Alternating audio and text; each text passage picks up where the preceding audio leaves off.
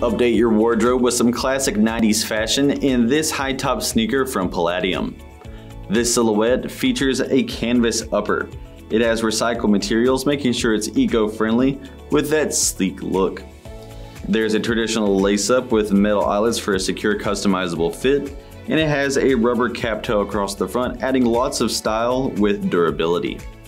The inside lining is also canvas to keep it nice and breathable, with a cushioned foam footbed in the bottom for even more support.